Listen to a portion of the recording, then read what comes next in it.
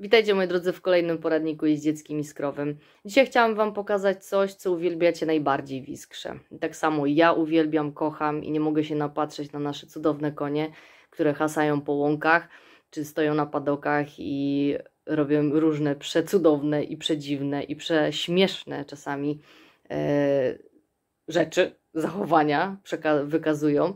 I chciałabym Wam dzisiaj to pokazać. Chciałabym Wam troszkę też opowiedzieć o tym, dlaczego warto konie wypuszczać na pastwisko. Więc zapraszam Was do oglądania.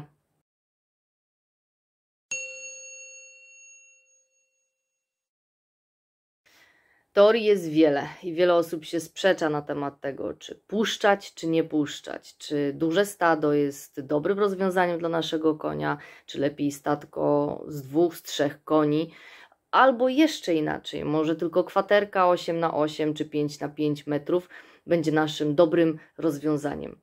Nie wiem, czy jestem w stanie Wam na to w tym momencie odpowiedzieć, ale chciałabym Wam pokazać jedną rzecz. Pokazać Wam, jak bardzo konie potrzebują bliskości drugiego konia, jak bardzo potrzebują troszkę więcej relacji, jak tylko jeden czy dwa konie obok siebie. To jest bardzo ważne i musicie mieć to na uwadze, że konie potrzebują stada. E, bardzo dużo daje mi obserwacja stada i bardzo dużo mnie nauczyła przez lata moich doświadczeń z końmi. I tak naprawdę jedna rzecz mi się nasuwa. Są konie o bardzo różnych charakterach. Mój ukochany Pancio, którego większość z Was pewnie zna, znała, bo już niestety go nie ma.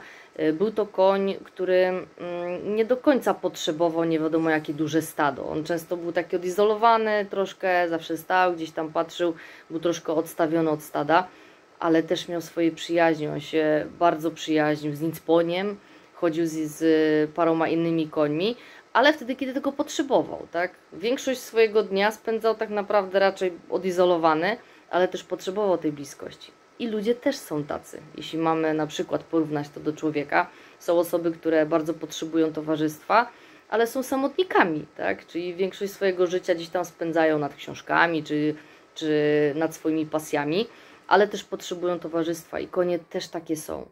Ale nie możemy popadać w skrajności w skrajność, tak? Czyli y, konie potrzebują stada, potrzebują dworu, bycia jak najdłużej na pastwisku i y, w stadzie. Stado może też liczyć 3-4 konie. Jeśli mamy konie niebezpieczne, są konie bardzo dominujące, kopiące, takie konie też powinny być y, dobrane w stadzie mm, do swoich takich przyjaciół, tak? O, koni, które, e, z którymi nie mają konfliktów, tak żeby nie generować kontuzji u innych koni. Na przykład konie, które są na cztery nogi podkute, wyjdą w stado i wiemy, że są kopiące, to stwarzają realne zagrożenie dla innych koni co niestety możemy się spodziewać poważnymi kontuzjami.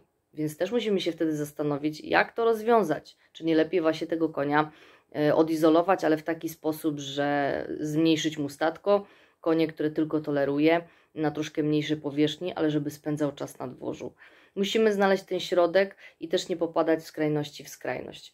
My w Iskrze mamy duże stado. Mamy dwa duże stada, bo mamy oddzielone klacze od wałachów Nasze konie chodzą wszystkie razem. My ich nie izolujemy.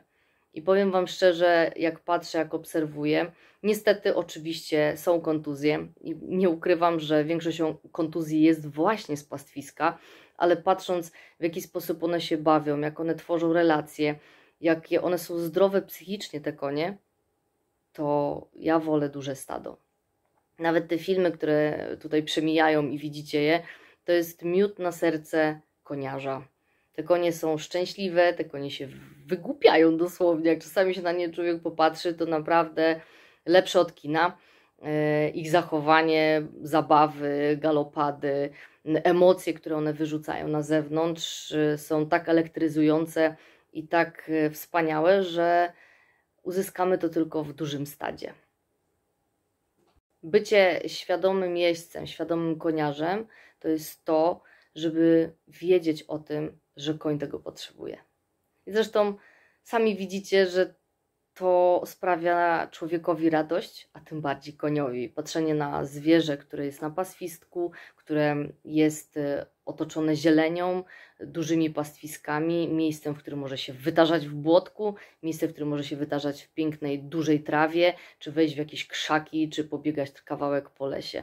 Jest to najpiękniejsza chwila, którą można dostrzec e, w życiu koni.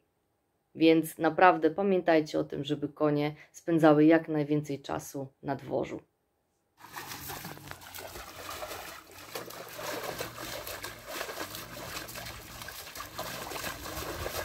Nicuś, co robi koń?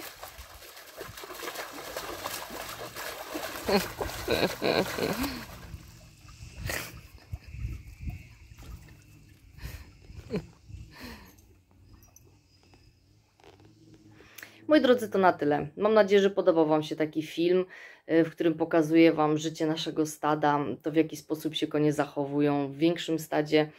Pomyślcie o tym, czy to jest dla Was dobre rozwiązanie, czy dla koni. Ja uważam, że dla koni najlepszym rozwiązaniem jest bycie po prostu w stadzie. Na tym kończę, moi drodzy. Zapraszam Was na nasze wszystkie media, czyli na Facebooka Stajni Iskra. Zapraszam Was na y, Instagrama, oczywiście na YouTube'a i mam nadzieję, że niedługo się znów spotkamy. Pozdrawiam Was serdecznie.